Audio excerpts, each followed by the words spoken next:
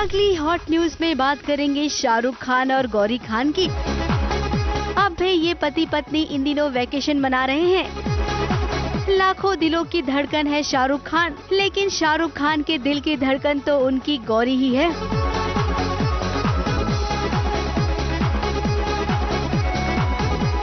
ये है ABP news आपको रखे आगे।